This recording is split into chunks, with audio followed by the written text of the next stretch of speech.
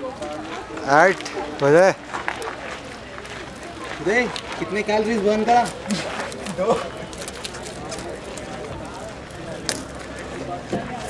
और एक मार गया।